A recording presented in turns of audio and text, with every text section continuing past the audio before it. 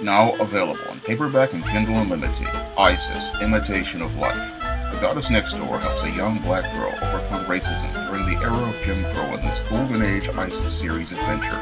Get Isis, Imitation of Life in paperback and Kindle Unlimited today. Actress Afton Williamson, one of the stars of the ABC drama The Rookie, has decided to leave after allegations of sexual harassment and sexual assault on the set of the show. Now, when I take a critical look at this situation regarding actress Afton Williamson, I really believe that she's telling the truth. And the reason why I believe Afton Williamson is telling the truth is because oftentimes opportunities for black actresses are rare as related to television and for a black woman to leave a top rated ABC show just as it's getting its second season, it just adds more credibility to her statements. Moreover, when I look at the discreet way Afton Williamson has handled this situation, it gives more of a ring of truth to her allegations of sexual harassment and sexual assault and her actions fit right in line with what an individual would do if they were in a hostile environment and believed that they could get no recourse from the production company or the studio or the network. So Afton Williamson's actions fit right in line with someone who has been sexually harassed and allegedly sexually assaulted on the set of the show. So when I look at her actions, they tell me that this woman has gone through some sort of harassment on the set and she wants to get away from that harassment and that clearly shows again in her actions because even though opportunities for black actresses to be in a television series are rare, she's willing to walk away from that large payday in order to have some peace of mind. Now, again, when it comes down to these shows, these shows and opportunities to star in shows are very rare. And for a dark skinned actress like Afton Williamson, this was the opportunity of a lifetime. Because getting a television series is something that's very difficult to do in Hollywood, especially for black actresses, because Oftentimes, roles aren't written for black actresses. So, this sister is putting a lot on the line by walking away from the show, which was going to pay her, as I see it, very well because she was a supporting cast member on the show. And no, nobody really walks away from that type of payday unless the conditions on the show are so hostile that it becomes untenable. Again, adding more of a ring of truth to Afton Williamson's statements. And when I think about the way Afton Williamson was treated on the show after reading several articles on it, it just really disgusts me because it shows the hypocrisy Hollywood has regarding white women and black women. Now, your Afton Williamson says that she was harassed by a black male co star, and she was sexually assaulted by a hairdresser on the show who made numerous racial slurs towards Afton Williamson. And the response from the production company was quite troubling when you consider that we are in the era of Me Too, and the mission of Me Too was supposed to be about stopping sexual harassment and stopping sexual assault. Well, where was the Me Too movement in the case of actress Afton Williamson? And where was the Me Too movement to stand up and advocate for Afton Williamson? Your Afton Williamson was being sexually harassed on the set of The Rookie by this black male guest star, it's alleged, and she was sexually assaulted by a lesbian hairdresser on the set of this show, and she had to deal with this lesbian hairdresser harassing her over the course of the show, making numerous racial slurs regarding her. But we didn't hear from any of the women of this so called Me Too movement, like your Rose McGowans, your Asia Argentos, and many others who came out and said that it time was up for these type of incidents. But it seems like the, the, there was only time was up when it came down to old white actresses and not young black actresses like Afton Williamson. Because when I look at this whole case of sexual harassment and sexual assault, again, I see a complete difference between black and white, and it shows me that when it comes down to black and white, there are two different standards as related to them. When it comes down to white actresses who make allegations of sexual harassment and sexual assault, they get full on court press from the Me Too movement. They get all of these people coming out talking about how they want to support these white actresses about allegations from over 20 to 25 years ago. But a black actress who makes a statement clearly with the ring of truth because she came out almost immediately to try to rectify the situation.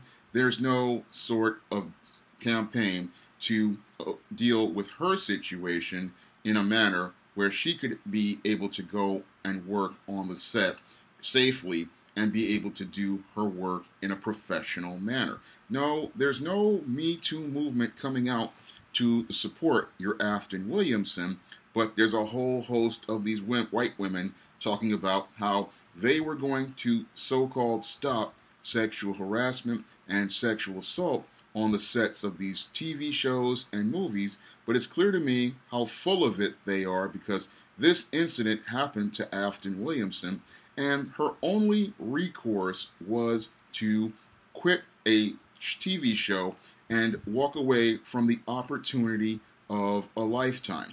And that's what's really sad to me because this young sister, this was one of her big breaks, and she was forced to walk away from her big break because she got no support from Hollywood, which is par for the course when it comes down to Hollywood because Hollywood only supports white actresses and often leaves black actresses out in the lurch. And this is something that I knew all about Hollywood for many years, and I wrote about it in my screenplay, All About Marilyn, because I know how they mistreat black actresses like Afton and consider them an afterthought and do not think about their needs on the sets of these shows because this young lady came out and tried to rectify things with the showrunners and who promised her that they would take this up with HR, but decided not to do anything at all and left this woman out in the lurch as she was being harassed by this black male co star who I believe should have known better than to do such a thing because in this era of Me Too, we have black men becoming the target of these Me Too allegations and are being presented as brutes of the month, this black man should have known better than to go after this young sister in this hostile climate.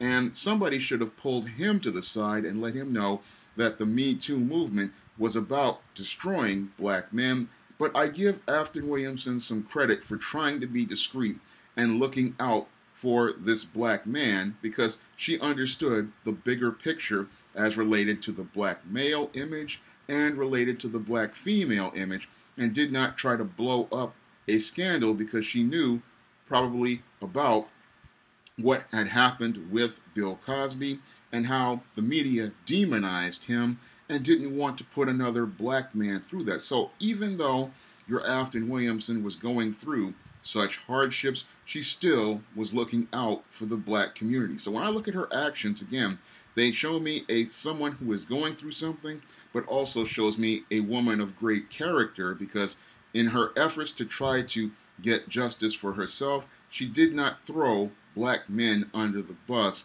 and present us as monsters. Instead, she tried to get recourse and hold the people accountable who were actually accountable for what was done because she knew this acting gig that she got was the opportunity of a lifetime, and she didn't want to wind up blowing the opportunity of a lifetime. And I believe that this woman was trying to hang on and trying to endure and trying to get through this hardship.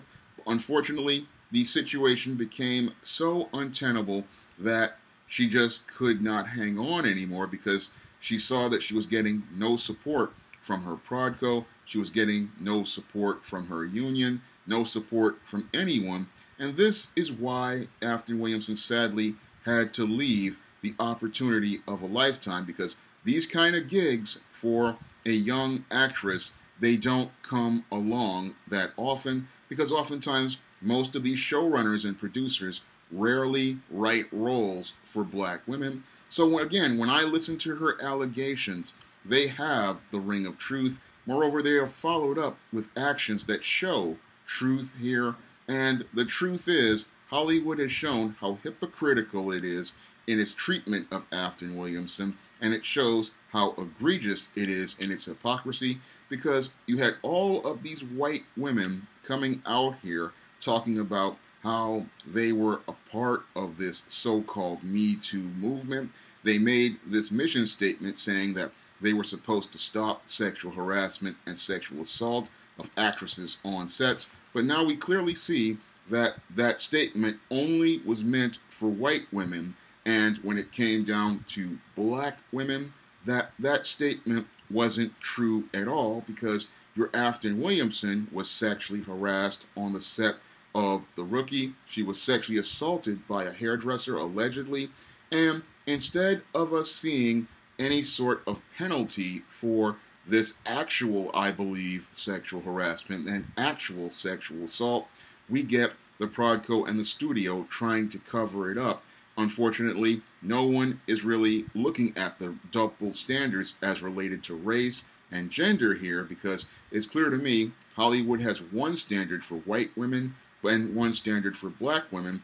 And when it comes down to the black woman's allegations of sexual harassment and sexual assault, they are minimized and marginalized because Hollywood still does not see black women as women and it does not see the issues of black women as important. Because the way this sister was treated shows me that Hollywood does not respect the black woman and it does not treat the black woman the way the black woman deserves to be treated. Because when I look at this sister again, her words have that ring of truth because she not only makes the statements with her words, but she follows it up with the actions which define her great character. So when I look at Afton Williamson, I see a really great sister here who is trying to do what is right, and instead of her getting the support she deserves, all she gets is a slap in the face from Hollywood, which shows us that Hollywood is more about protecting white supremacy than promoting the missions that it says it talks about. Because again, where is the Me Too movement? Where is Tarana Burke? Where are all these people who say that they wanted to say time was up? When why wasn't time up for Afton Williamson when it was for everybody else who made allegations from over 20, 30, 40 years ago. You had people, they could go out here and say me too. But when Afton Williamson, a black actress who was on a show and for less than two years, she can't get any support whatsoever from Hollywood. And again, it just shows the hypocrisy and racism as related to Hollywood, and it shows a clear difference between the worlds of Hollywood and black and white. If you want to learn more about the struggles of black actresses in Hollywood, you can pick up my screenplay all about Marilyn on Amazon.com in paperback and Kindle formats. That script shows what the difference between the worlds of Hollywood in black and white and the insidious racism that goes on behind the scenes in Hollywood as related to the image of black women and how black women struggle in Hollywood to find quality roles and why black women get mistreated and exploited in Hollywood by the institutionally racist entertainment system. And if you'd like to see me make more videos like this, you can donate to my Patreon, my PayPal, or my Cash App by clicking the links in the description box. That's all I have to say for this video. You can comment, rate, and subscribe. Now available in paperback and coming to Kindle Unlimited. John Haynes, Dark Succubus. The man who rules the world is tempted by a sultry succubus in this all-new John Haynes series adventure. Get John Haynes, Dark Succubus in paperback or pre-order on Kindle Unlimited today.